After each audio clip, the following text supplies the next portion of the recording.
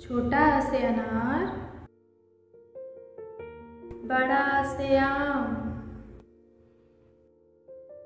छोटी से इमली, बड़ी से ईंख, छोटा से उल्लू, बड़ा से ऊन, री से ऋषि। ऐसे एक तारा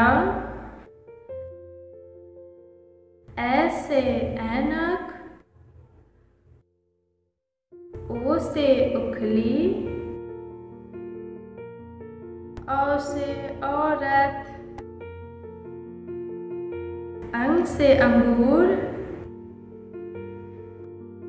आहा से खाली।